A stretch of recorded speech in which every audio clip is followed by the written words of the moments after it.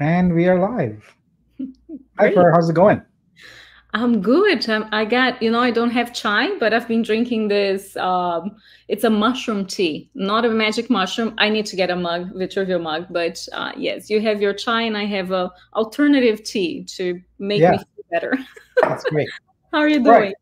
I'm doing well. I uh, finished the weekly uh, Vitruveo download, and uh, we talked about doing another session here, you and I, to go over VTRU Studio because uh, we are now at the point where we can uh, uh, we are feature complete, and so we can show some of these features uh, to folks who may not have seen it. Uh, and I'm excited. I'm excited to to share that. So, but before we do that, uh, what's let's talk a little bit about what your experience has been working with the artists who have used it so far in in in alpha. Uh, and for those of you who don't know, uh, let me just first start by saying VTRU Studio is our flagship application, the main application that that creators, artists will use to onboard and consign their artwork to uh, the chain. So, all right, with that background, tell me how it's gone so far. With uh, I, I think you have like 15 artists or so. Yes, I have about 15 that are on my first alpha beta testing group. So it's the really like the previous group. And they're helping me like figure out like all the minor changes that we may need uh, especially like because we as we build we don't have the experience of someone that is looking at it for the first time. So some some things that we think that are very natural and are going to be easy like for people coming through the first time they go like you know what? I think this could be you know like a, another way. So it's been amazing because they love it. They're super excited to, you know, get uh, get through with the full consignment of their artwork and uh, the feedback that they have given us have been priceless. I'm super super happy with uh, this starting group, and um, they're excited. I think the most important feedback has been on the crop tool and that is something I can't wait to show to show live for everyone to see how amazing that that is. So yeah, it's that. that that's cool. So I'm going to get my screen ready here, and uh, then we can uh, actually go ahead and uh, um, uh, start uh, uh, sharing what it's what it's like. All right, so I have everything ready here now. Um, so I think what we want to do is just kind of walk through, and as we are walking through, you know, um, see if anyone who joins us has questions and things like that. So let me go ahead and share this, uh, add to stage. All right, there we go. All right, so uh, I think what I what we can do for is I can navigate because it's on my computer, but you can talk us kind of through it, and I'll jump in occasionally. Um, I'll just have everyone know that this little symbol here, it's the alpha. Alpha means not 100% awesome you know? There might be bugs there might be issues etc and that's why we are doing it in a very slow and methodical manner. We're not just saying here 10,000 people here's the software. We're going through these different phases. All right. So and right now uh, we have an allow list. So you can't just come in and use it. You have to be uh, on on the genesis list. And also within the genesis list uh, you have to have first blessing uh, in order to, to be able to, to, to use it. Um, all right, so I'm going to go ahead. I have my blessing. It's just in in in small stages. yeah. All right, so I'm going to go ahead and log in, and this should send me a code. Uh, sometimes it takes me a little bit of time to get the code because I, I, my email, my mailbox is too full. Uh, like I have too many emails, and so it always is a bit slow. So let's. Uh, here we go. Got it. Uh, let's get that code in. 935417. All right. And we are in. Okay. Uh, I might zoom it, this in a little bit so it's easier to see on the stream. All right. So there we go. So uh, let's talk about the newest eye-catching innovation there on the left. For what you got going? I love it. So yeah, we, because of course we're artist centric, we decided that our virtual studio should have a place to showcase our artists. So we, we're starting with a handful of people that uh, I contacted directly to add their artwork. It's not, uh, let's say, it's not a perk because it doesn't give you anything but it's a place to show and celebrate you. So we have uh, on the side, uh, starting with four artists, but we're going to rotate and have more artists uh, as we grow. Right now, you have my work, you have Dr. Martin, you have uh, Jeff, you have uh, the philosopher. So, uh, and the list is growing. I'm adding more as we go. Super excited to have that on the side. That's cool. All right. So, shall we start with the profile and uh, then go from there? Yes. All right. So, I go to profile and it's super, super straightforward here. So, there's a username, and then there's an avatar. So I'll leave it at that. And why don't you talk about the right hand side here? Yes. Um, so as we as we discussed uh, previously, and I hope that everyone paid attention to this because I think it's a very important feature.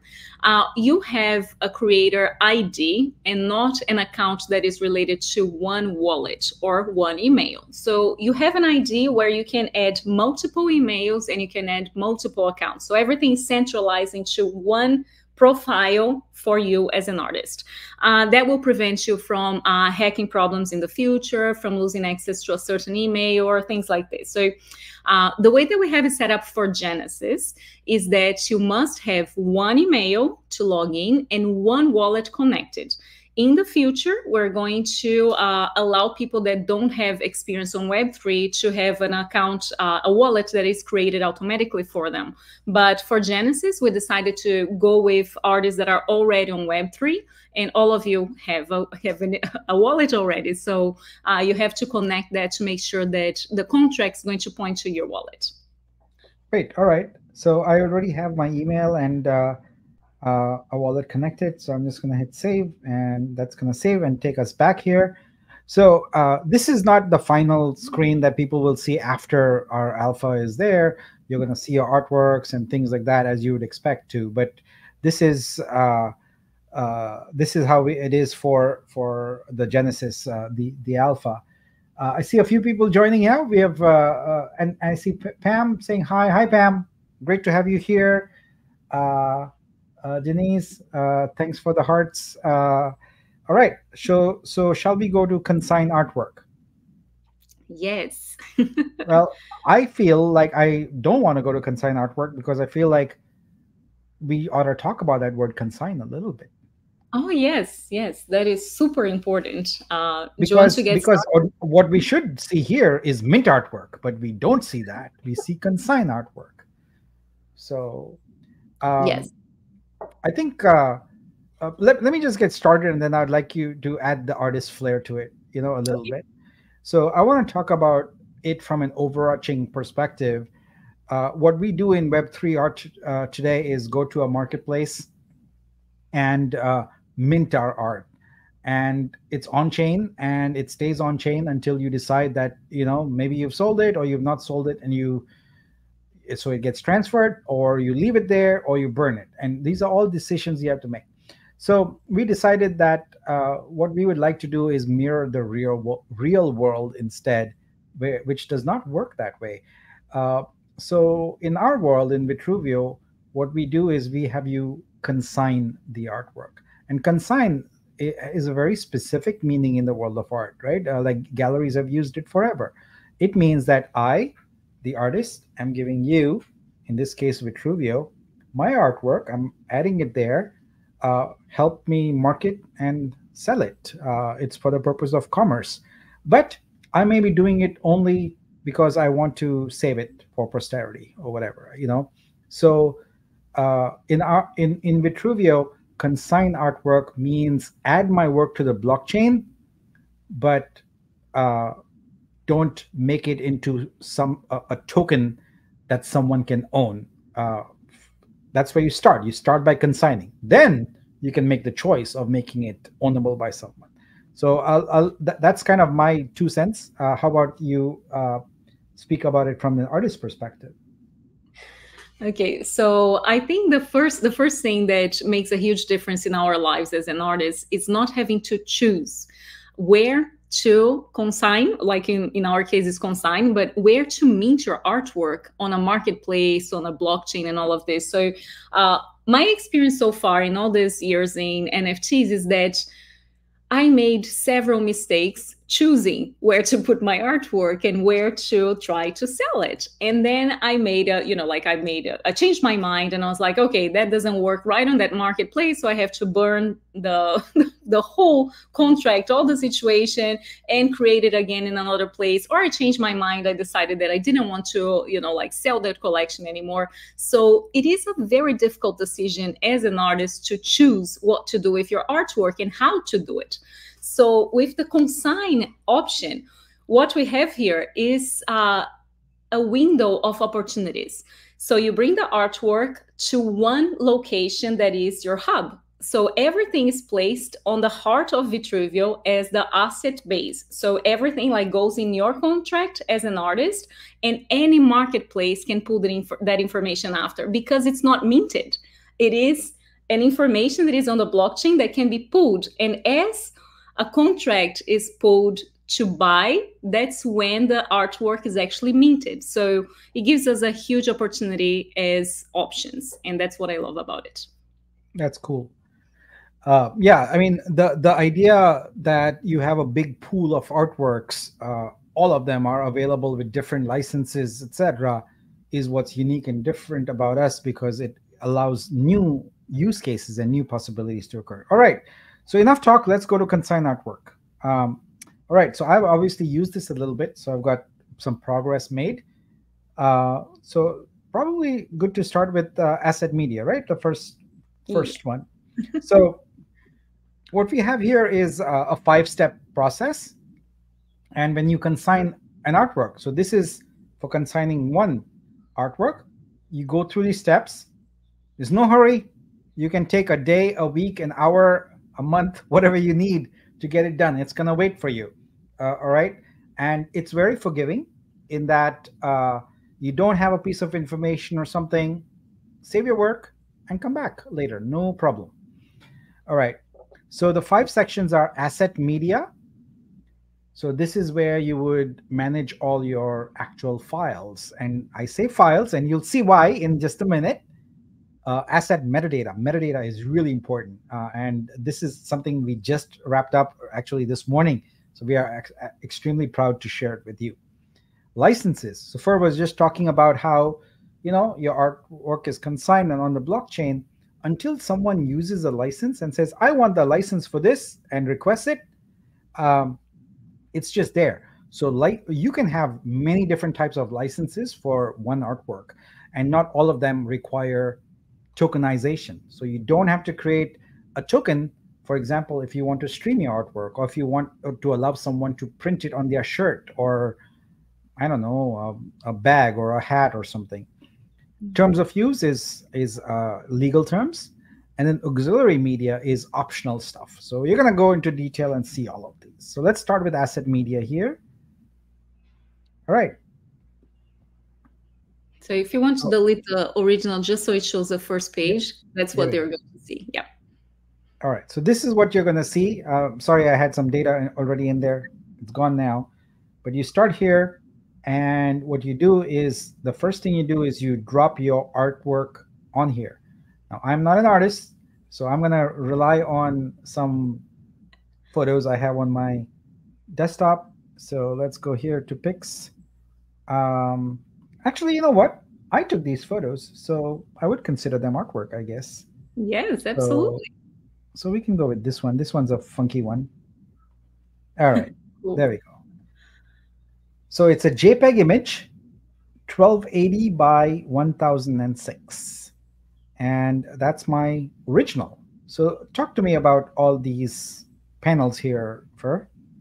Okay, so as an artist, we're always focused on creating that one piece of artwork that is your original art. So that's how we create, whether you're coming from the traditional industry and you have a physical piece, or if you are uh, a digital artist that creates on, on your iPad or takes a photo and they all come already in digital format. Either way, you have one artwork that is your original artwork. And that's the one you start with in this process. That's the piece that Nik has already put in there. But we are bringing to you a lot of options for uh, revenue income. So we have a few things here that are going to help you make money out of your art. One of them, which is super important, is the next one that is the display artwork. That is what goes on a, let's see, like here behind me, I have a, I have an easel with a digital canvas. So it's exactly that format. Yeah, Nik has a horizontal format. I have the portrait. So when you upload your artwork, the first medium, it's going to recognize if you have a horizontal artwork or a portrait format or a square and then it's going to give you the right uh, tools to go through the next steps to get all the alternative formats that we have for you to make extra income out of your artwork. So uh, the first one is the display. And what you do you upload the very same file. And it's going to uh, if you have already cropped in your computer. If you know how to do it, you Photoshop and you get the right ratio, it's done and you upload and it's it. But if you don't have it done properly, like you upload and we have a crop tool. So you don't have to know how to use Photoshop to crop your artwork. So this is uh, Nik showing how to use the crop tool. And do you want to talk about this, Nik? oh, you're in mute. I don't hear you. I muted. Uh, sorry. Yeah. So my file, it turns out, is low res, but that's fine. You know, a lot of people will have that. They'll have a low res file. It was only 1280. But if you had a high res file, you could select what part of it to crop. But even if you have a low res file, you can choose which area you want to focus on and then do the crop. So this is a standard crop tool like anything else, but it's right there in your browser. So it becomes really, really convenient for you to use. And then you select done and boom. So you've now got this image here that conforms to um, large screens. So the 33,840 by 2160, I'll just highlight here, this part here, that's 4K resolution. That's your standard 4K resolution. And we want your artwork to look amazing. We don't want it to be showing up there with black bars or whatever.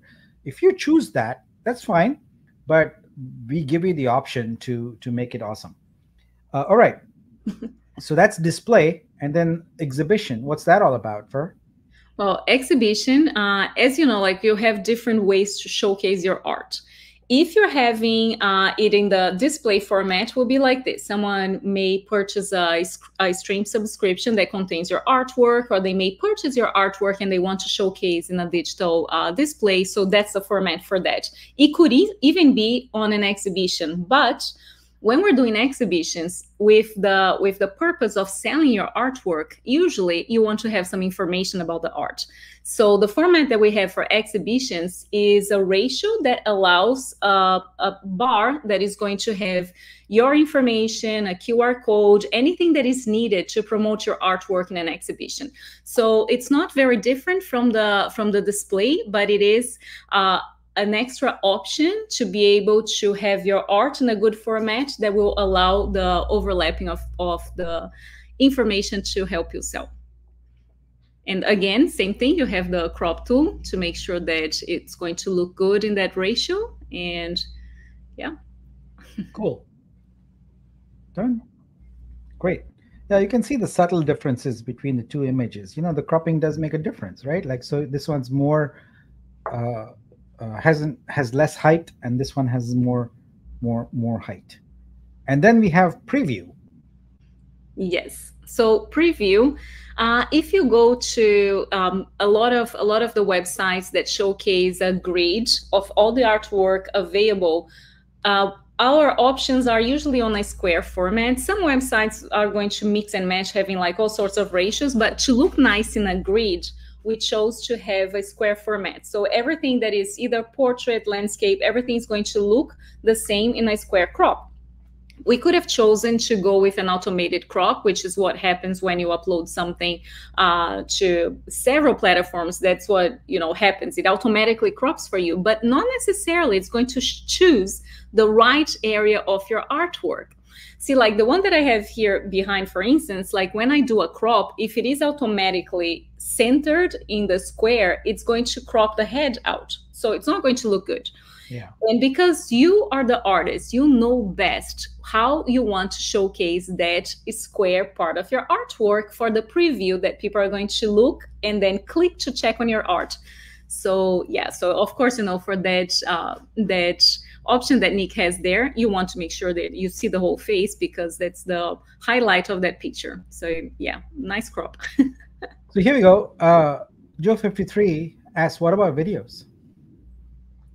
Okay, videos, we have the crop tool for videos as well.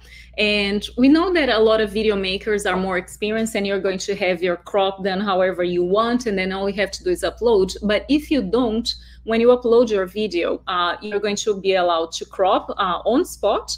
And for the preview, we have a, a, limit of five seconds, which is what we believe that looks good enough for a grid of previews so people can check your artwork and know that it's an animated piece.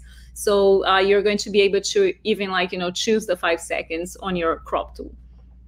So go videos, like done. yes, we love videos. All right. Okay. The last one is print and it's extremely high resolution, 12,000 by 8,000 pixels and 500 megabyte maximum. Yes. So for print, we understand that not everyone is going to have uh, a high resolution file but we want to we want to make sure that you understand that if you want your artwork available to be printed it has to be top quality. You can't uh, share a file that when someone puts out to print it's going to show pixelated or you know like blurry. We can't do that if we want to show professionalism in the art industry. So that's why the print file it is optional. You you have the option to choose that as a license or not so here you have to be very, very professional and upload a super high resolution to be able to do a beautiful canvas print or, you know, large uh, metal print or any print that someone may want to do with your work. All right. So then th this step, uh, that's an optional step. So you don't have to do it. Uh, it says this step is completed. So I'm going to click on uh, next. It's going to take me to the next step. Uh, but before we go there, I want to actually go back and show you a feature that we didn't talk about. We believe in equality. We want this um, uh, experience and Vitruveo Studio and Vitruveo to uh, make it possible for every artist to have a sustainable income through their art. Uh, what we've found in talking to thousands of artists in the space is that it's not equal, right? Mm -hmm. Folks who are fluent English speakers have a significant edge over folks who don't. Now, we've solved a lot of the problems by eliminating the need for artists to do any marketing. You know, that's the thing with Vitruveo Studio. You come, you upload your artwork, and you go back to your studio and you do nothing else. Uh, that's that's how Vitruveo works. But even while using this, it's very important for you to get things right. And we want to make it easy. And so Vitruveo Studio is localized, uh, starting with five languages right now, and we'll be increasing that to other languages also. So we make it where it is available and accessible to every artist. And we want to make sure that we don't have a very sort of English centric kind of experience.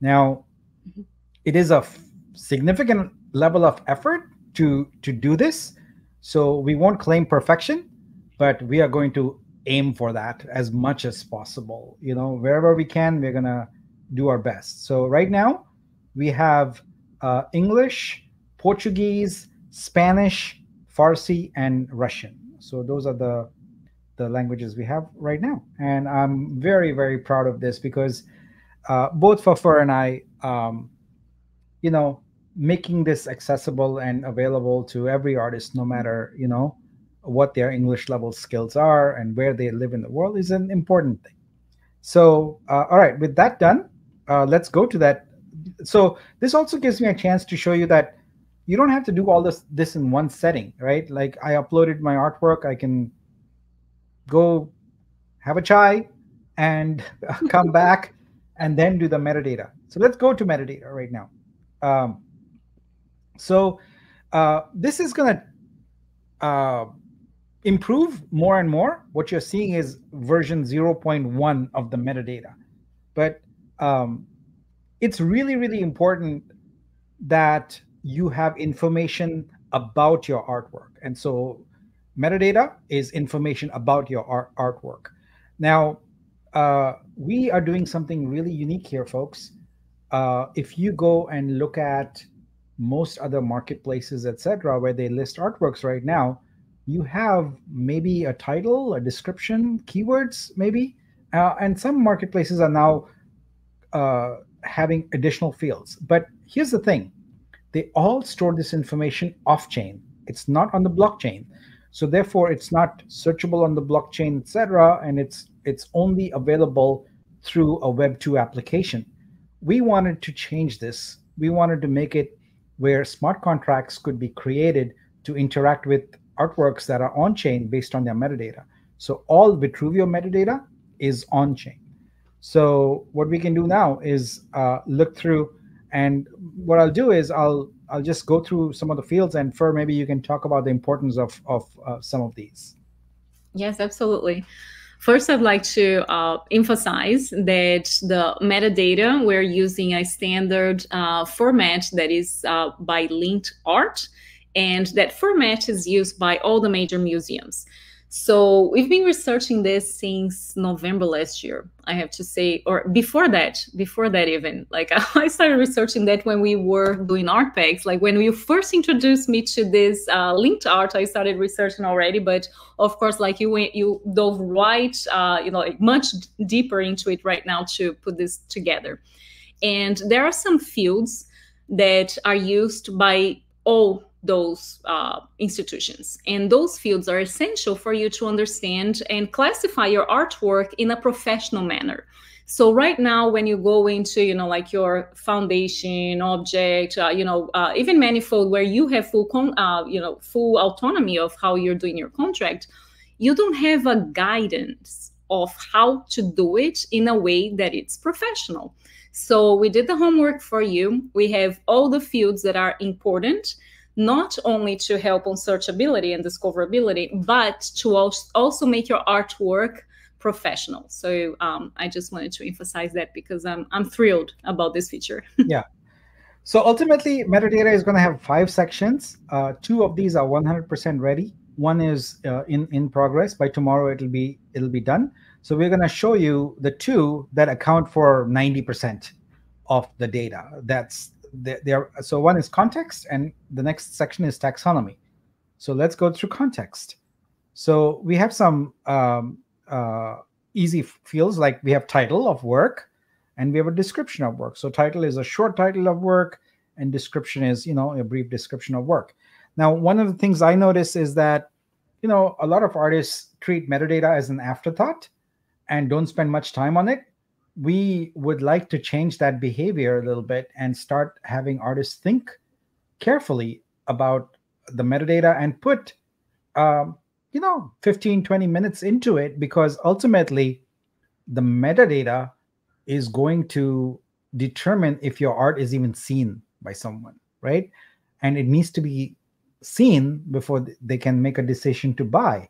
So you have to think of metadata as not only you know uh, about providing accurate information for for for buyers, but it's also a marketing tool. Uh, with the right information, your artwork will be more visible. All right. So then we go on to to culture. So we have a few cultures here right now. We're gonna uh, enhance them uh, a, a, little bit soon. So we have, you know, what what culture is associated with your your artwork. Next, we have a field here called mood. So let's talk about that Fer. What do you think about that? I think it's really cool, and I'll use I'll use a, uh, an example because when I listen to music, I want music that is going to set a certain mood. So I have playlists that are associated to a certain mood. For me, it would be amazing if I selected, I want a cheerful playlist today, you know, and that goes the same for artwork. If I want to have a streaming of art, I want to set a certain mood to that day or to the event or whatever, you know, like uh, I feel like in that moment. So Mood is a very, very cool uh, extra feature that I think is going to make amazing on playlists. So super excited about this. Yeah, and uh, we are working through the finalization of the the choices that are, are here. Uh, I know a lot of people are going to ask, like, what, can you allow us to put custom sort of data in there? What we're going to do is we are going to hold off on that a little bit because we want standardization.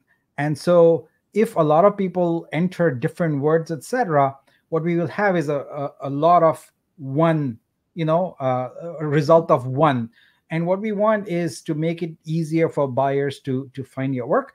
And so we're going to stick with the uh, existing uh, standard fields for for right now, and deal with outliers a, a little later. All right. So after mood, the next thing that comes is colors. So think of this as the color palette. Uh, that feature is not uh, there yet, but we are going to auto, auto detect it for you. So we already see your artwork, right? We will auto detect. But for right now, for this alpha, you have to manually provide us what the color palette is and just tell us uh, what it is. Uh, you can you can do it in in hex, you can do it in RGB, HSV, etc. And you can increase this palette to as much as you want. But we are gonna ask you for at least three, and I believe we are gonna limit it to three also. So it might it might be a, a fixed thing. So oh, I didn't click the thing there. So here we go. uh, okay. Uh, yep. So and like I said, we will auto detect, and you can then customize and tweak it uh, if you wish. All right. So that's your color palette, and uh, then we move on to copyright. Now, copyright here is not about licensing or anything like that. This is simply what copyright text do you want to appear whenever someone sees this. So uh, you can you can say whatever you want here. You know, typically it will it will be something like copyright XYZ, all rights reserved, or something like that. This is again not licensed. You can leave it blank if you wish, and it'll be a, there'll be a default one uh, created for you. And then uh, finally, uh, orientation. Again, we will auto detect it for you. Uh, in this case, it's horizontal. Uh, but uh, we give you the option on some of these fields. Uh, the metadata will be auto detected, and you can see it, but you can't change it because it's uh, it, it's deterministic. You know, like the fact that the artwork is horizontal is not up for debate. It's you uploaded the file and we can see it. Is what so, it is. so uh, Lord, IP asks a question about so not CC0, CC1, etc. Hold that thought because we're going to come to it very soon, and your question will be answered. But but yeah, in this case, you just it's just a plain text line. All right. Next, we go on to taxonomy. Now, uh, here what we've done is given some context for your artwork, right? It's very it's almost like softball stuff, right? Mood, uh, colors, uh, orientation, etc. But now we get into the really important and um, significant classification. So the first thing is we categorize your artwork, right? Is it digital? Is it physical? Or, or is it digital and physical? Like, uh, is this like maybe a scan of, of something, etc.? So I'm going to say digital here. Uh, and then next we have tags. So there's a tag that's auto generated for you, but you can remove it. Uh, the idea behind tags is uh, the same as it always has been on social media, etc., is to create a loose sort of. Uh, they, they used the term folksonomy. It's gone out of style now, but uh, yeah. So my picture was taken in Dubai, so I'll put that. Uh, I will put um, microphone. That's a that's it was visible uh, in there, and I'll put um, graffiti. Right. So those are some of my tags. You can enter as many as you want.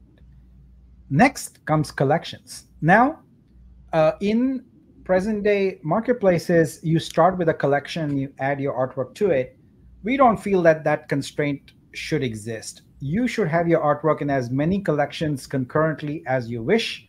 and so you can do that you can create as many collections as you wish so i'm gonna uh, call my collection here street photos and maybe i have one that i call graffiti also. But uh, these are virtual buckets. Your collections are um, view your, your artworks are viewable through many different lenses shall we say? And a collection is one a tag is one. So if someone goes and selects a tag graffiti your artwork's going to show up there because you've added that tag there. If someone wants to browse your collection called graffiti they can do that and they can see that.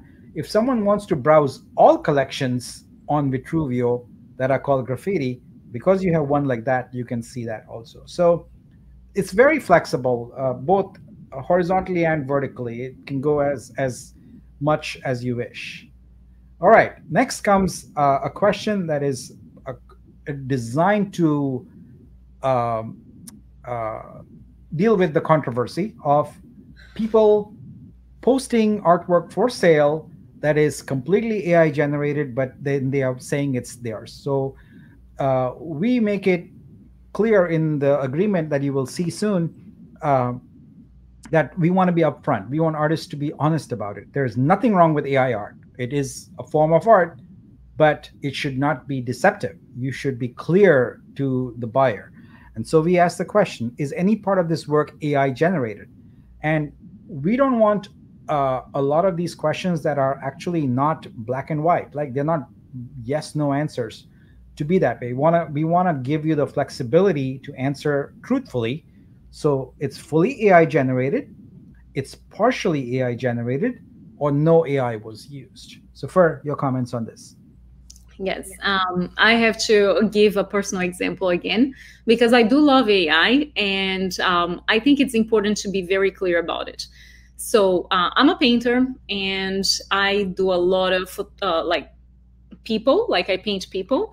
So most of the time I photograph myself to actually do an artwork. And with AI, that changed my life dramatically.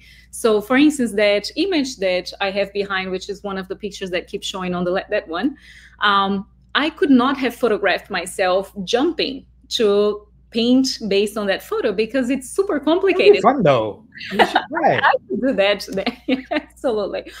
But anyway, like I use AI nowadays to create a reference to start from. So I generate those images on Midjourney and then I select the area that I want my paint based on those images. So yes, I use AI. It's not a fully generated AI piece, but I have AI in it. So I think it's important to clarify and as Nik said, AI is not a problem. Like we love AI, but we want people to be upfront about it. If you use AI, some people are very averse to AI, so you can't you can't be deceptive on this. Like if you say that you painted and you didn't even touch a brush, it's it's bad. You know, you, you should be very clear about the use of AI in your artwork. Yep. All right, then moving on. Next question is about nudity. Does this work contain nudity or does not contain nudity? This is just so that uh, when there are streams and things like that that are showing up in people's living rooms or whatever, they might not want to have nudity show up. And so we have that clear. We'll probably, just like AI, also make this more granular. So it can say that, you know, it's, uh, how should I say, tasteful uh, versus uh, more, uh, more on the erotic side of things. Uh, all right. Next come uh, a series of fields that are designed to uh, help you uh, really uh, help you help buyers decide, you know, what your artwork is about. So the medium. So you know, in all of these, we use a plural because we find that uh, people mix things right? They, it's it, that's creativity. You know you you break the mold. It's not like it has to be done with only one thing. People go do multiple things and we want you to be able to express that. So mediums here are uh, you know lots of different mediums are available and uh, we try to be fairly exhaustive in these. So there is no doubt in my mind that you will come up with something that is not on the list you know and we'll deal with that.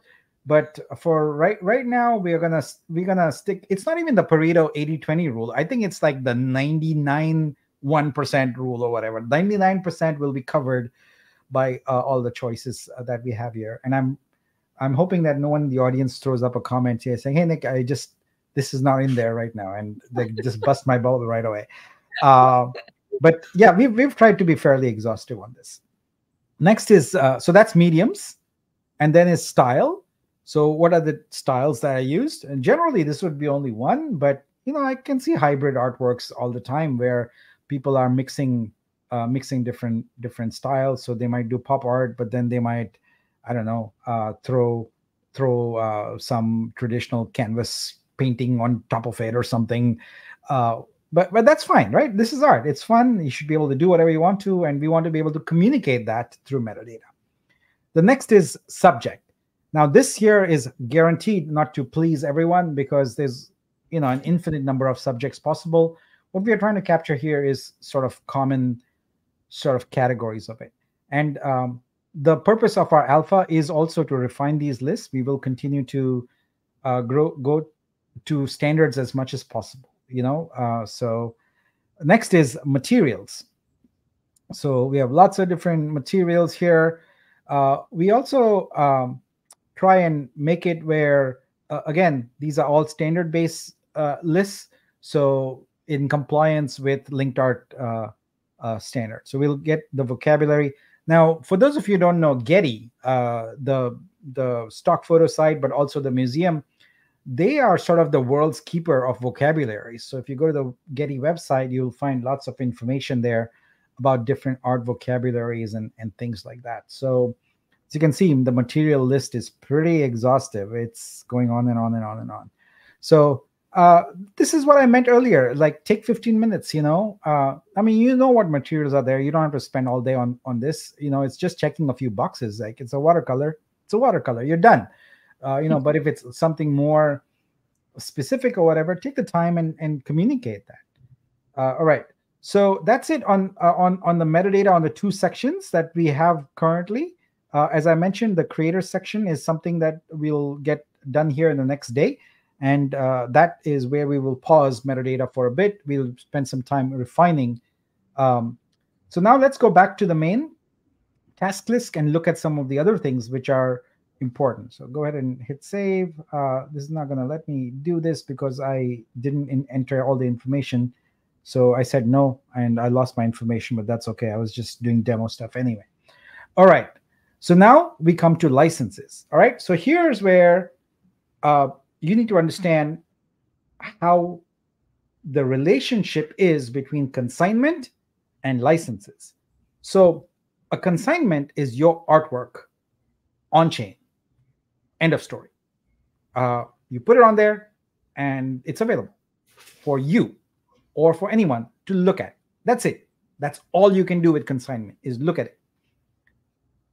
You as the artist have to explicitly give permission for a third party, meaning me or for or someone else, to do something with your artwork. And with Vitruveo, you have the power to choose exactly what you want done with your artwork. So, for example, if you want people to be able to print your art on t shirts, but not mint NFTs, you can do that. Conversely, if you want people to only mint NFTs but not print your art on shirts, you can do that. Or maybe you want both. Let's look at licenses because ultimately commerce happens when someone consumes a license you have created. So you create licenses and someone consumes them. So let's go look at that. All right so we have a number of different types of licenses. I'm going to uncheck all of these. I should have done that before. Uh, let's do that. All right here we go. All right so uh, for how do you want to do this? You want me to just start off talking and you jump in with comments? Yeah, go ahead. Like you, you you're very good at explaining this. So yeah. All right. So as I mentioned, uh, you know, licenses are uh, there for you as an artist to grant to people. And if you see the licenses here are all have a suffix, they have a number, a one. What that should tell you is that we intend to have many different versions of licenses. In fact, I predict that by the time we are a year into this, there's going to be maybe, you know, 20 different types of NFT licenses and all that because we want to give you granularity in what permissions you give people. And the same artwork should be available with multiple licenses. So this is where I want to cre- clear up a point of confusion. Many artists who understandably are not familiar with the law, copyright law, etc. You know, you're artists. I get that, right? But we want to educate and help you. Um, when you create an artwork, you hold the copyright for it automatically. That is common law. That is established. When you grant someone a license to do something, you do not relinquish your copyright to it. You still have the ability to license that artwork in other ways, unless you happen to create a license where you explicitly give up rights. And trust me, most people don't do that. You know, you don't want to do that. Why, why are you going to give up your rights? Keep your rights. So when someone buys your NFT of your artwork, it hasn't changed the fact that you can now still uh, license your artwork for uh, for streaming or for printing or anything like that, right? And that's what this is designed to do. So we have started off with four licenses, and we'll add more along the way. So what you do is you check and enable the license that you want. So the first one is NFT art. And it says here this license makes the artwork available for sale under one of several edition pricing models. When sold, an NFT of the artwork is minted and delivered to the buyer. So this is very important. No minting occurs until someone pays money. Until then, your artwork is already on the blockchain, but it isn't minted as a token. All right. So we are advocating for the use of uh, editions because we have a unique feature called elastic editions. Let's look at how that works. Mm-hmm. So the first thing you do is you choose the the license and when you enable it you get to choose which type of license you have and so so lord i'm, I'm sorry if i'm mispronouncing it lord ip lord ip um, here's where you get to choose the type of license and uh, maybe i think this was working but uh, it's it's broken when you click on i it takes you to the detailed uh, uh, information about the type of license. So these are all Creative Commons standard licenses used by YouTube and other companies, and we want to make it super easy. Now, notice here on the bottom, there's a Vitruveo option.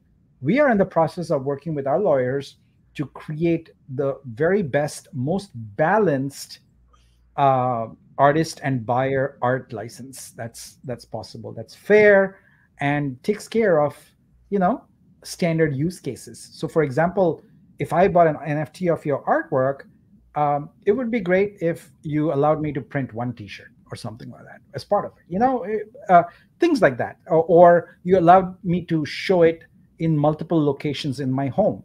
Uh, you know, I'm not con- constrained to having it only in my browser or in my wallet or something like that. So we want to be explicit about it, and and uh, make it very balanced and artist and buyer friendly. All right. So let's start at the bottom here, unlimited editions. So this just means it's an open mint, basically. That's what you call it. Give it a price. So, you know, um, well, let's see, let's say $500. Boom, you know, or, or it's, it's maybe 100 more affordable. My art is not that good. So, uh, so uh, unlimited editions or a single edition. So in which case, you know, uh, well, maybe I, I charge 500 here. All right. But we put elastic editions first because we feel like that is going to be the best way for you to get sales without compromising anything. So, what's elastic editions?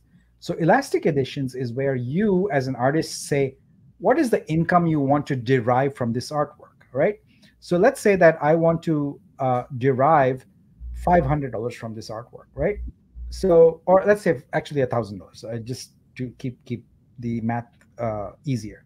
So I'm going to put a $50 price and I'm going to say 20 editions. What does that give me? A thousand dollars. What did I say? I wanted it to be 5,000 or 1,000? Yes, I think it was 5,000. Yeah. I said 5,000. Okay, let's let, let's change it and keep it a thousand. Okay, I'm sorry. I didn't want to just confuse everyone. Okay, uh, th- this is what happens when you don't sleep. Um, okay, so now I'm saying I have 50 editions available uh, sorry, 50, 20 editions available for a price of 50 each. And I want to give an edition discount of 2%. All right. What this means is when a buyer comes to your artwork and likes it, they can add multiple editions and combine them as one unit by paying the multiplied price. So if I come to your artwork and I want 10 editions, I would pay 10 multiplied by 50, 500, but you check the 2% discount here. So each each uh, one above one is discounted 2%. So I can't do the math in my head, but the Vitruveo store will do that for, for you. So what it does is immediately compress, lower the number of editions because the multiple editions that someone buys are considered one unit.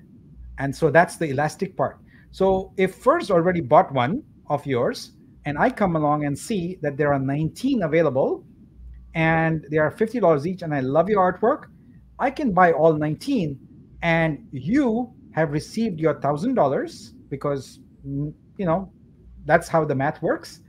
But your artwork is sold as uh, an edition size of two because Fer got one and I got one. So that's elastic editions. And we believe that every artist, if they do this, they give the buyers a choice and let the market do its work for you. Why why do you want to dictate things? Now, if you are completely sold on the fact that it must be singular, there should not be two versions of that, that's fine. You can do that too.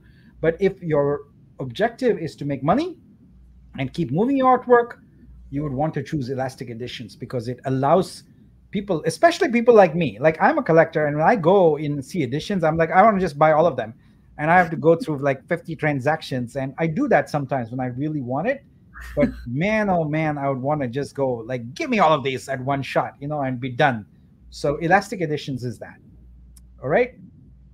Uh, any comments on on that, uh, Fer?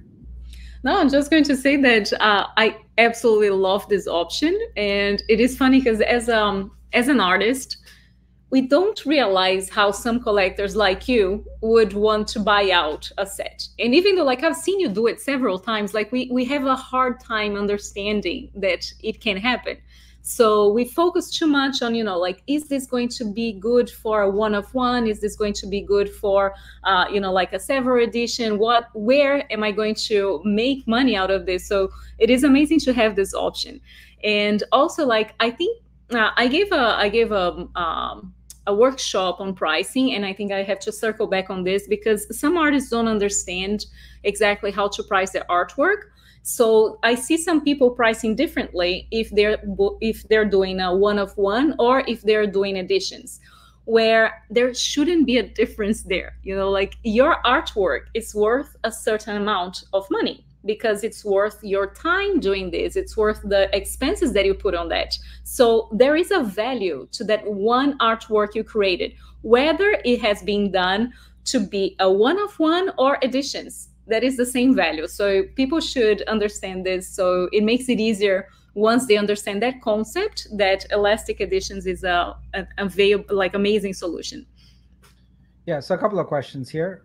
So price on the 19 and one artwork would be 19 times uh, a single price. Yeah, exactly. It's just straight up math, except the discount. So if you've checked the discount option, then uh, each subsequent copy would be discounted 2%. And so you get slightly less money but you also favor the buyer and make it uh, you know enticing for them to buy it and i totally get it that the first person paid you know got a killer deal right a killer price on their one edition but that's up to the buyer let them decide you know if they don't care they don't care you know so uh yeah uh Elastic is such a great option. Thank you. We we think so, and we hope that uh, uh, you uh, more people will will use it. Absolutely. Could we also have a system that find that one from the 20 so the buyer of one can sell it ooh that's interesting that's a good feature yeah we go track it down and say dude give it to me and merge it into a one of one uh, yeah interesting now, in my experience, I've found that people are extremely reluctant to do that. They hold on. And in fact, the moment you ask them, even if they didn't care about their artwork, now they start caring about it. You know, so uh, it might it might be tough. But that's a good su- suggestion. I'm going to make a note of it. Um, by the way, uh, while Fer was talking about pricing, uh, I, I did uh, mention forgot to mention one thing that we are going to build in here that's going to come later. Uh, it's not going to come right away is because we're going to have this pool of artworks uh, we can give you pricing guidance. We can say that okay the metadata you have selected is xyz your artwork is you know so and so we can do an ai analysis of it and tell you based upon the artworks we see and you know uh, what you're doing here this is approximately what you might consider selling the artwork for. So yeah we can we can do that. Uh, all right. So it would be great perhaps in the future to implement dynamic nfts uh, congrats for all the hard work yeah thank you. Yes we absolutely are uh, uh, in, in fact you will see here later how we have factored in dynamic nfts so all right let's continue um, let's go to my favorite topic. And I'm very sorry, folks, but I'm going to be talking for two and a half hours now. No, I'm just kidding. I will not. But streaming artwork. All right, look, we studied the market. We studied the market and we saw why so many artists are struggling. I mean, that's all, you know, artists have always struggled, but specifically in Web3, they're struggling because it's a very constrained model. It basically is a one and done model. You mint an NFT and you hope who hope you find a buyer for it somewhere of all the buyers out there. Um, but that's that's that's throwing darts at a target that's like I don't know 100 meters away or 100 feet away or whatever unit you want to use. You know, the chances that you're going to hit are pretty slim. What we want to do is increase your chances of winning. And the way to increase your chances of winning is to expose your artwork to as many people as possible while at the same time having you make money? And the answer to that is streaming.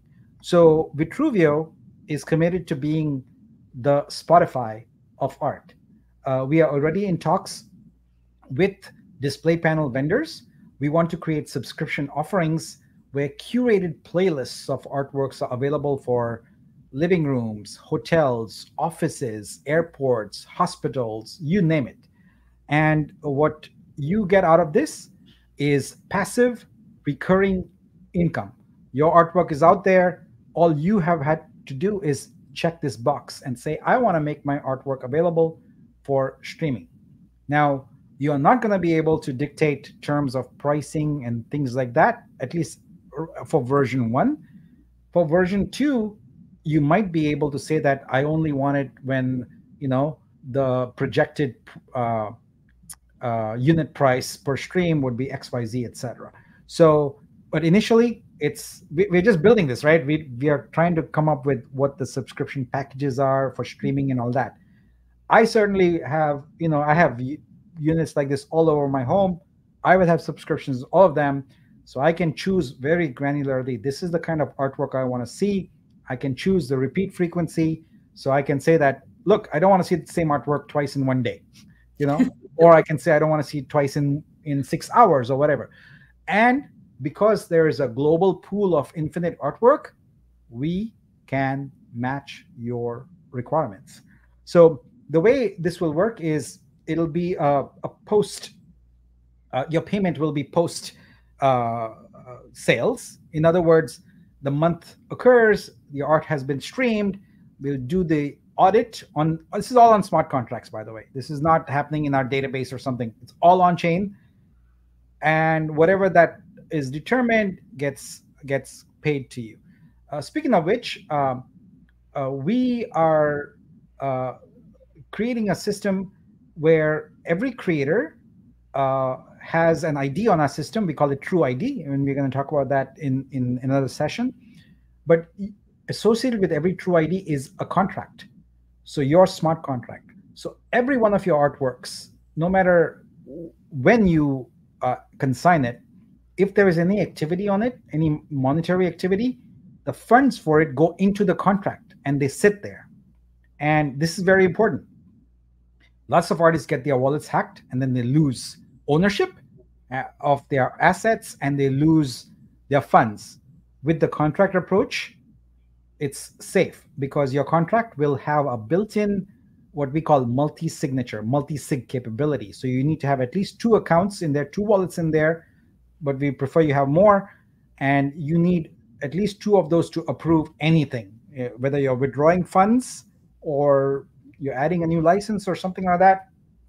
You need multiple of your wallets. So if some hacker gets possession of one of your wallets, go to your True ID, delete that, consider it bye bye, add a new wallet, and you are in business. You, if you had some money in there, you might have lost it, but your assets uh, ownership is unquestionably not not an issue. Uh, your funds from your contract that are sitting there uh, that you may not have claimed yet are not an issue. They are safe. So this will be very safe for artists. Uh, okay, so next one is print art. So uh, I will take a break and let you explain this one first. Okay, so um, as we mentioned before about the quality of your uh, file for printing, it's super important because you're going to allow the option for people to print your artwork in uh, several different formats. We're starting with a super simple license that is one print, no matter in what surface. So that's to start with. And we expect that uh, at this point, it will be more like, you know, you want a t-shirt or maybe like a, a small print on a paper or something, something simple. Uh, as we evolve and we close on some partnerships with uh, proper, you know, like uh, companies that do several different options of uh, sizes of print, like metal print or any of this, then we can have a more elaborate uh, type of license where the number is going to be based on what the person is going to use it for. But to start with, we're going with a very simple. You want to allow someone to do one print, that's the value that you put in there, and they use it to anything that they want. Great. So you can I can print your artwork for my car. Uh, yes. Have fun. all right. so the next one is a remix art license. So we are have a partnership with uh, LensPost, which is essentially a Canva for Web3. And by checking this license, you enable people to use your artwork in memes and things like that and get paid for it. So some people might consider that sacrilege. My art is amazing and mine, and I will not allow it to be used in silly, ridiculous memes. But uh, some people might say that, you know, you know, why not? It'll be fun. You know, I'll make some money, and uh, people can can make memes out of it. So it's your choice. Again, all of these are are check check marks. You can check none of these, and guess what? Your art is still on the blockchain. Your art is still searchable. It shows up in results, etc. But people can't uh, uh, commercially transact uh, with it. All right. So, uh, question here can a license be changed later on if it gets popular? So it depends, right? Uh, it depends on if, for example, if it's an NFT license where you have an edition price, etc., set, then you probably don't want to be able to change that midstream. But uh, all these other things, yeah, you can change them anytime you want. Like because the print license, for example, applied to the people who printed up to that point, and now you saw that oh wow, it's very popular go ahead and go change it uh, and uh, increase it because um, everything is at a point in time, right? So when someone is transacting and requests a print license, they're going to get a snapshot of what is the license, what are the license terms at that point in time, and they have to abide uh, by that. So, so yeah, you can uh, when when your artwork uh, when you have that super hit uh, thing, you can change your price from one dollar to hundred dollars and and make a killing uh, because uh, yeah absolutely. So we got remix we got uh, print etc all of those. All right let's go on. Uh, just a few more sections and then we are done. I'm sorry it's taken a long time but we worked hard on this to make it really comprehensive and address all the problems that we've encountered that we are aware of so now comes the terms of use so we've got a simple creator agreement uh, people can take this apart and look at it, and there's nothing in here uh, that says anything about Vitruveo owning your art or anything like that. There's none of that uh, because, uh, you know, first of all, this is a, a, a, a blockchain for creators. This is your blockchain, right? We are not going to put ridiculous terms in here that are designed to to hurt artists.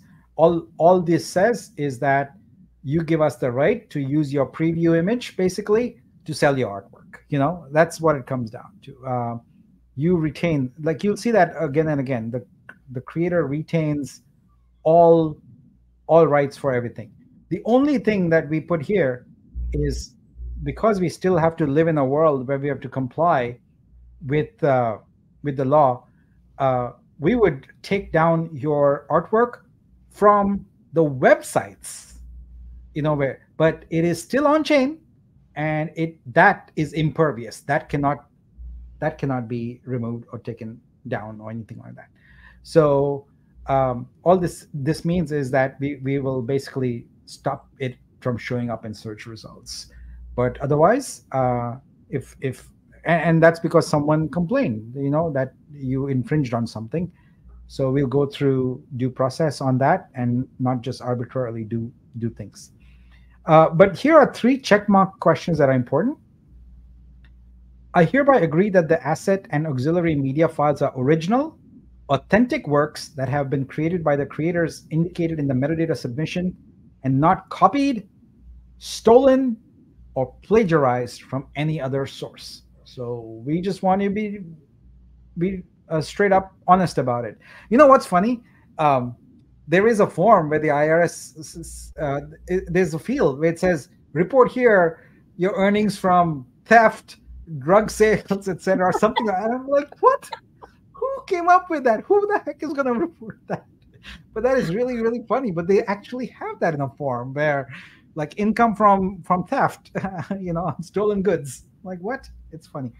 Um, I hereby agree that if any portion of the asset and auxiliary media files were created using artificial intelligence, I have answered yes to the metadata field for AI generation. So here, going back to the metadata, you're saying that, yep, I agree that if there was any AI on it, and I hereby agree that this work is not minted on any other blockchain, or offered, consigned, or listed for sale on any other platform, and will not be minted, offered, consigned, or listed as long as a listing is active on this platform. So you're free to come back and revoke uh, a license and say that, okay, I'm going to keep this on chain, but I'm not making it available with a license. Because remember, we are doing the marketing and promotion and sales for you. You are no longer responsible for doing that. So if you are actively selling that on another chain, that poses a serious problem because uh, we can't be s- selling um, it in a in, in, in a certain license when there might be a parallel license that is um, in con- conflict, right? So we just want you to agree that. That's that. Okay. Um, and then last but not the least is auxiliary media. So this was my uh, pet kind of section. I put it there because uh, I really want artists to start looking beyond the standard uh, use case of the artwork itself is value. I get that totally. I don't want a bunch of messages from people saying, "Hey, my I don't I don't need to do anything to my artwork to make it amazing." No, I'm not saying everyone has to do it, but we also want this space to move forward and be innovative and come up with radically new and exciting ways in which people can experience art. And for that, we need auxiliary media. What does that mean? Well, by default, every artwork that is consigned uh, is augmented reality enabled. So we will soon be releasing a web based viewer, and you can look at your art uh, whether it's on a screen or it's printed on a shirt or I don't know, you got a tattoo of it, you scan, you scan even the tattoo, if you scan it, it will work and you will see augmented reality content.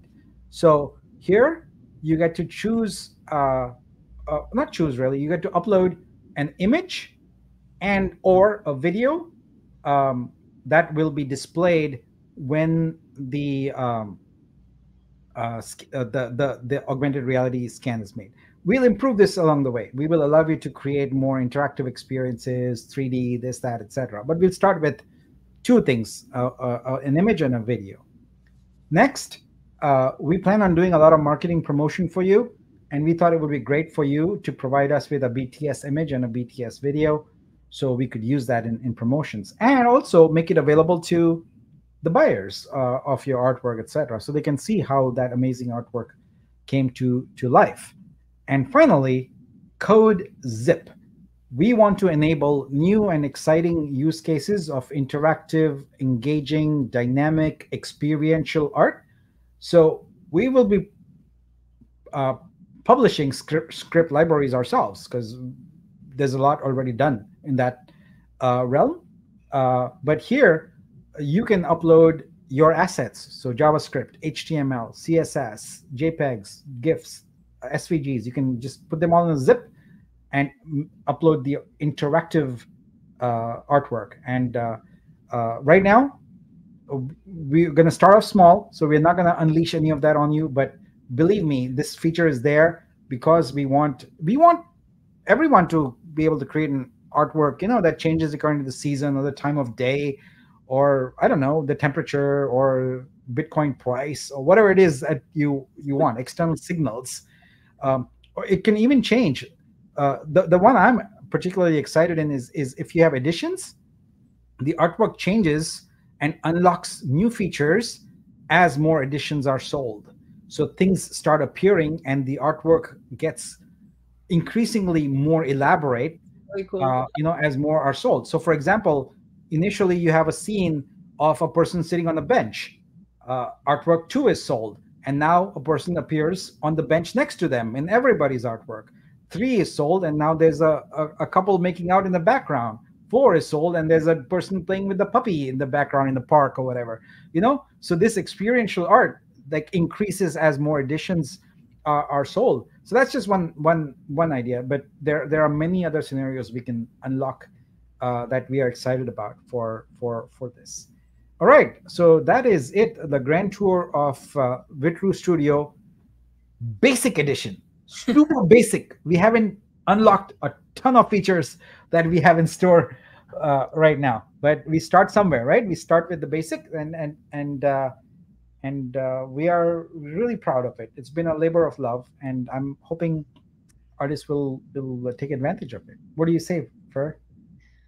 I want to say that I am over the moon with this. Uh, I can't I can't say how much of being anxious to deliver this to our our community because we've been working on this as a concept for so many months and it's like it's amazing to finally see it coming together you know like and ready to be used. So uh, i wanted to comment something for the artists that look at this and think it's a little bit overwhelming because uh, a lot of a lot of people may think oh my god there's so much information on metadata. But know that all of that is in the metadata available to actually make it work for you it's not for us you know like we want you to have success with your artwork.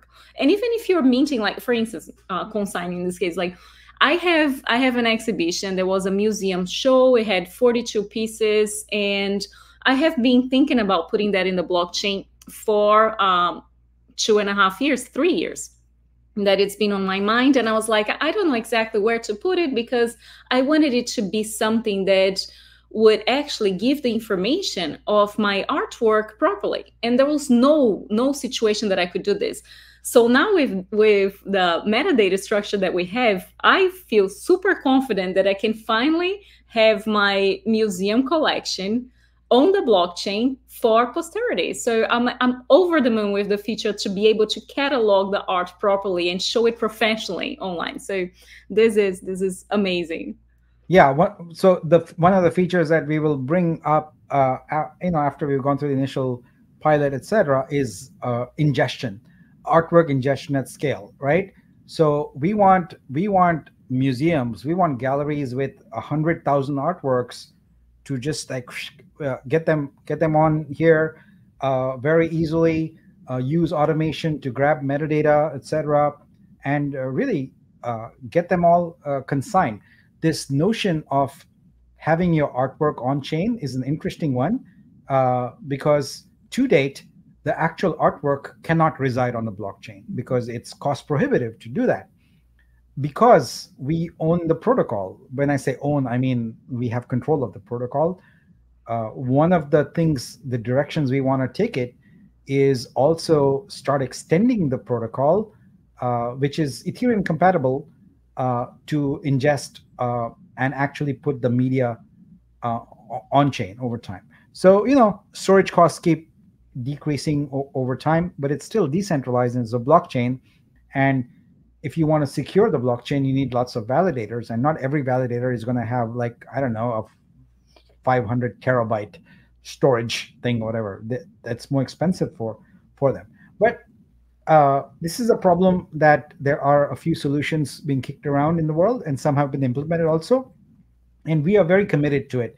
So your idea of having your artwork uh, on chain for posterity will be be true. For right now, a reference about it will be there. The metadata will be on chain.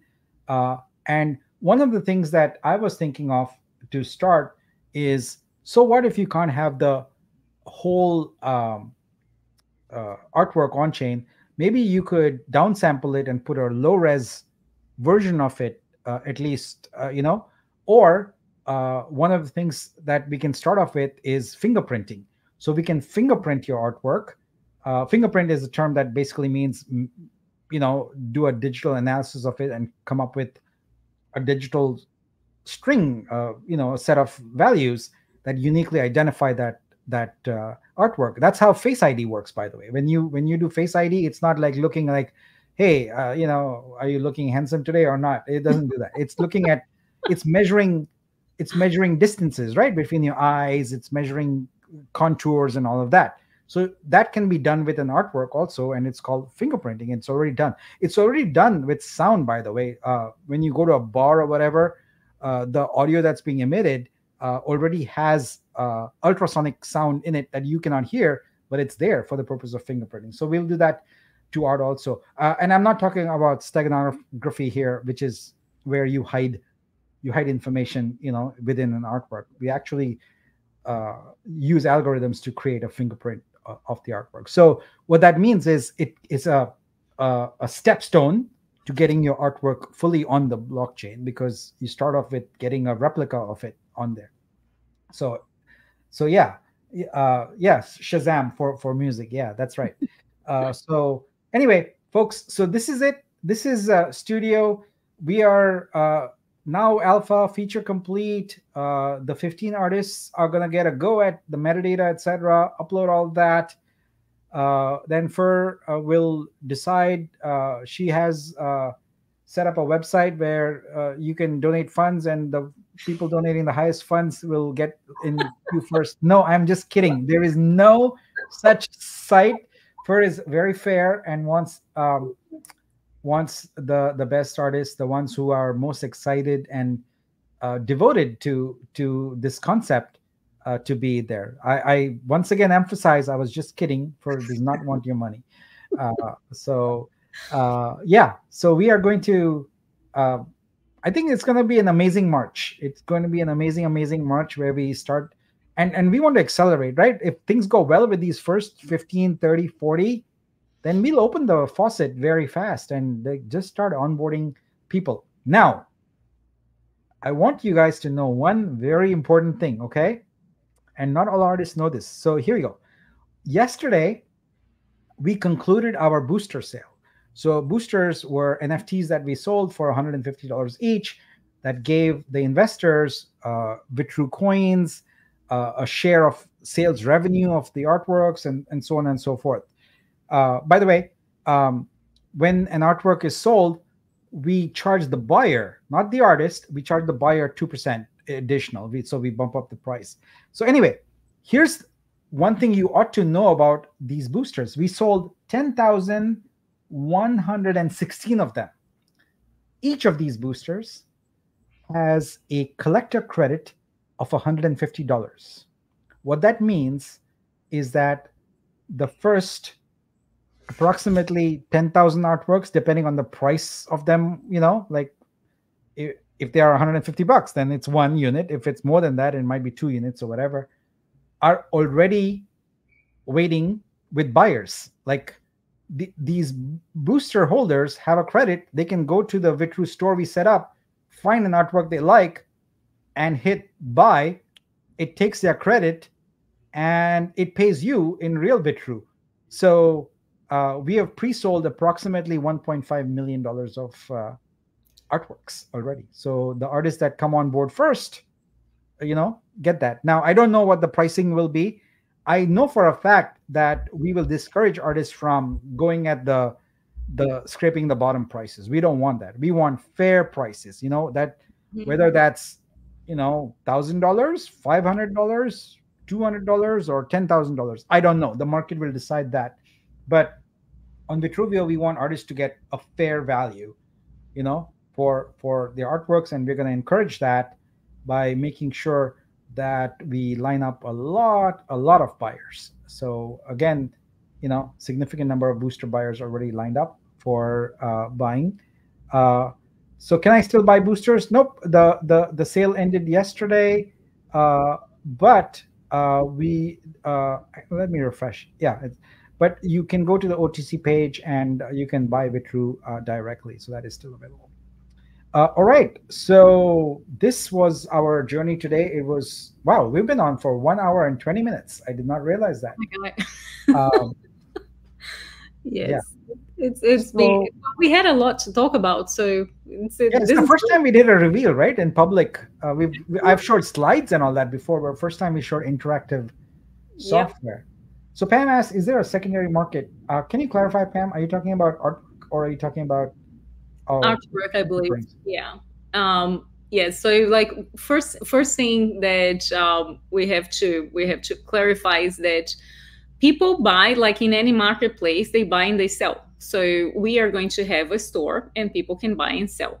What we are looking into here is setting up more in the sense of people that actually appreciate art, not so much on flipping art, so of course, there's always going to be a secondary market, and we want to make sure that the artists are going to be protected in that. So you have the royalty set in your contract. It's not going to be taken by the marketplace. It's by your original contract. So all of this is like we're looking after you, but we want to onboard collectors that actually love art. If you look at uh, Nik's wallet and most of mine, I did a, I did a few flips just to buy more art, so I flipped a few memes but we buy because we love art we're not buying to flip so that's with that mindset is that someone like Nik will go and buy out the editions because he loves the artwork and he wants to make sure that you know like he wants that edition sold out for the artist so secondary market is always going to be available but we want real art appreciators and that will come with the credit card. This is something I'm super excited. Um, we have the vision of onboarding people that are not yet on Web3. So uh, I have a lot of friends that uh, see me posting about this have not yet been on the on the web3 um, industry because they think it's super complicated so we are introducing a super easy process where someone buys with a credit card they don't have to have a wallet like right now, if you buy uh, on credit card in some other platforms, you still have to have a wallet. You buy with money, but it goes to your wallet. And we want to make sure that it's a seamless experience. And with that, um, you know, we're going to get serious art collectors coming into the space, experiencing having art in their homes. I'm super excited about this. yeah, and also we are throwing out the window the notion of a marketplace per se, because what we are doing is creating essentially a model uh, where there's a store uh, which has all the you know what you would expect in a store but it's really a, a, shopify model. So you can come and say file well not file you can say new store create new store. And you can say i want to sell a subset of this kind of artwork etc set it up and uh, add how much money you want to make like what is your upsell uh, and that's it. Then you're responsible for promoting that store, but we handle all the tech uh, for you because all the art is already on chain. Uh, the software will be the same thing that our store uses. It's just branded according to you, and so maybe maybe you you like uh, I don't know uh, you you like uh, elephants, right? So you can have a you can have in the metadata you can put keyword elephant, and maybe you only want photos, so you can select digital photographs or whatever, and you can create a store that sells black and white photos of, of elephants, elephants, you know, and mark it mark it up 20%. And there you go. The artist makes their money, you make uh, uh, uh, 20%, we make 2%, and everyone is happy. so that's that's oh, the model we are creating. Just oh, before before you wrap up, just because you touched on price, and it's something that people get very uh, very anxious about it. So when the artist sets the price on the license, that is the price the artist is going to get no commission is taken out of your price. You know your cut is your cut in full. And then we have the 2% on top. Of course we have to run the the whole blockchain has to run on something. Uh, so we cover gas for instance. Like we, we're making sure that it's run by success and not taken out of the you know like of the weekend as i like to say it. So we want to make sure that the artists get exactly what they ask for. So a marketplace is going to have the percentage on top of what you ask for. So whatever is the price that you believe that your artwork is worth is the price you're going to get. Wow, that was a great session. Um, I um, enjoyed talking about it. This is the first time you talked about it uh, publicly, and I think we'll have to do more of these sessions. And uh, hopefully, more a lot of people will see this video and uh, can't wait to remove the allow list and you know yeah. unleash and let everyone uh, get get at it. But you know, these things take time. They are a lot of work, uh, and to get it right takes takes some time. Um, so Daniel here has a question. Daniel says, "So those of us that have boosters, each booster gives a hundred VTRU, yes, plus art, yes, plus credit, yes.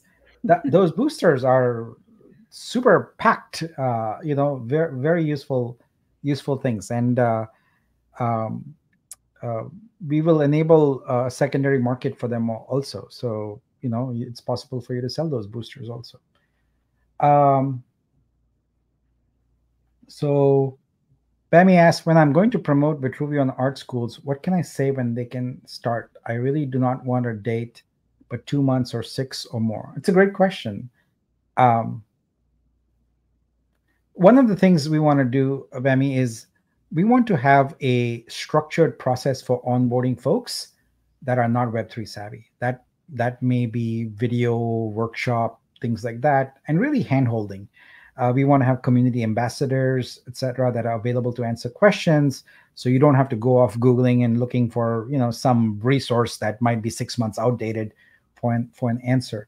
So I think it's it's realistic to say at least six months because we'll first get through the backlog of existing Web three artists Fer is that reasonable? Six six months? It's absolutely reasonable. I i do yeah. hope i do hope that it's even sooner but we do have a lot of people already on our list to get onboarded and we want to make sure that everything is running smooth with people that are already experienced on web3 before we open it up for people who are not yet experienced on a web3 and that's why we have a mandatory uh, add your wallet in the beginning because we have to make sure that you know you know what you're doing the basics you know. Cool. All right it is time for me to grab some lunch because i will otherwise get hangry. Um, and uh, uh, i have a ton of other work to do also but i love i loved uh, spending time here talking about this.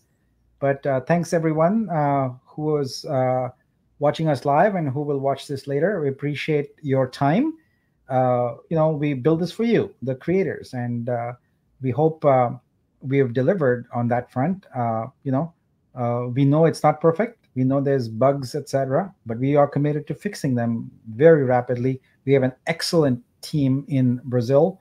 They are top notch. Very, they care deeply about the quality of their work, and you can see it when you use it.